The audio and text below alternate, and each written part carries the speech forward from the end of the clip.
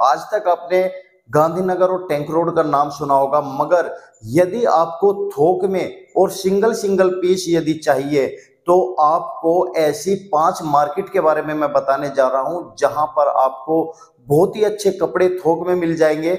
यदि आप single single लेना चाहते हैं तो आप वहाँ से खरीदारी करके आप अपनी शॉप पर भी वे कपड़े बेच सकते हैं। टोटल होलसेल वाली मैं बात बताऊँगा। चलिए, पहली मार्केट की मैं बात करता हूँ। सेंट्रल मार्केट, दिल्ली की सेंट्रल मार्केट। दोस्तों, सुबह 11 बजे से रात को 9 बजे तक ये मार्केट ओपन होती है। सोमवार के दिन छुट्टी होती है।